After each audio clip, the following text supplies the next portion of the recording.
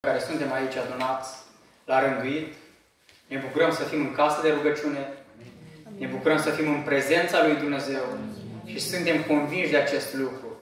Că am venit înaintea lui Dumnezeu și am cerut prezența sa. Și atunci când cerem prezența sa cu inimă sinceră, El este aici. Mă bucur ca prin Harul lui Dumnezeu noi, eu și colegii mei, să ajungem în mijlocul dumneavoastră. Am venit la colegul nostru, fratele Dorin, care dumneavoastră cunoaște de ceva vreme, cred. Fie ca Domnul să-L binecuvânteze și pe El și familia sa, să vă binecuvânteze și pe dumneavoastră.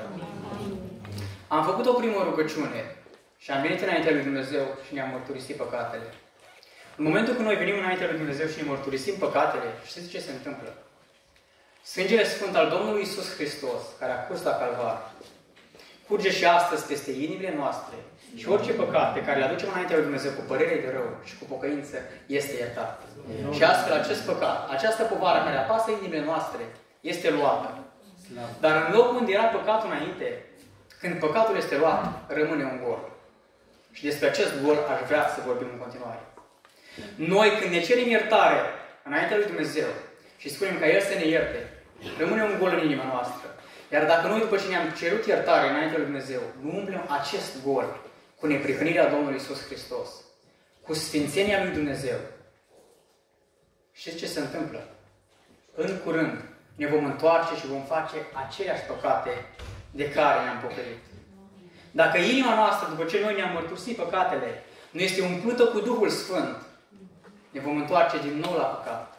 Deoarece noi ca oameni, noi cu sufletul nostru, fără de puterea Duhului Sfânt, nu putem rezista tentației păcatului. Dar în momentul când casa noastră spirituală este golită de duhurile necurate, este golită de ceea ce este rău, este golită de păcat, așa cum ne spune și Domnul Isus Hristos, automat noi trebuie să umplem inima noastră Amin. cu sfințenie. Amin. Pentru ca să putem să trăim o viață după placul lui Dumnezeu.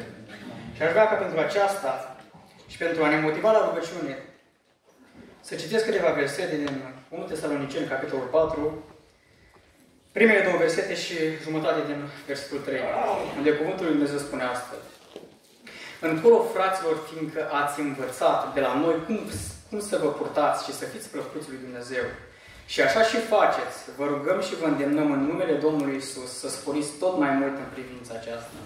Știți în adevăr ce învățături v-am dat prin Domnul Isus. Voia lui Dumnezeu este sfințirea voastră. Nu vreau să spun că noi, cei care am venit la teologie, suntem cei care adresăm cuvintele acestea din postura noastră. Apostolul Pavel spune, încolo, fraților, fiindcă ați învățat de la noi. Nu vrem să spunem că învăță, că dumneavoastră ați învățat de la noi. Și ceea ce vreau să spun în această masă este faptul că noi învățăm de la Domnul Isus Hristos. Că noi învățăm de la Cuvântul lui Dumnezeu, că noi învățăm de la antemergătorii noștri în credință. Sfințirea. În următoarea rugăciune pe care aș vrea să o facem, Aș vrea să venim înainte lui Dumnezeu și să cerem ca El să umple inima noastră cu sfințenia sa. Pentru că dacă avem această sfințenie, dacă avem această podoabă a lui Dumnezeu, aceasta este dovada care atunci, în ziua neprihănirii, în ziua în care Domnul Isus Hristos va veni, ne va califica în fața tronului de judecată a lui Dumnezeu. Dar dacă noi ne golim inima de păcat și apoi lăsăm inima noastră în pribegia păcatului în continuare, să știți că nu vom avea trecere înaintea lui Dumnezeu. Pocăința automat va aduce cu sine o viață trăită după voia lui Dumnezeu. Să ne cercetăm în această seară viețile noastre. Este viața mea cu adevărat o viață de sfințenie? O viață plăcută înaintea lui Dumnezeu? Atât de importantă este sfințenia. Ea este podoaba casei lui Dumnezeu. Și casa lui Dumnezeu suntem noi. Fiindcă noi suntem templul Duhului Sfânt. Dacă în templul nostru, în templul Duhului Sfânt, care suntem noi, nu locuiește Sfințenia lui Dumnezeu, știți ce înseamnă lucrul acesta? Că noi nu suntem, de fapt, templul lui Dumnezeu. Doar atunci când noi vom avea Sfințenia lui Dumnezeu, doar atunci ne vom recunoaște drept templul lui Dumnezeu. Ar vrea ca în următoarea rugăciune să ne ridicăm în picioare și vă invit să ne ridicăm în picioare și să venim înainte lui Dumnezeu să cerem că El să umple inimile noastre cu puterea sa, cu sfințenia sa, pentru a trăi o viață plăcută înaintea sa. Amin.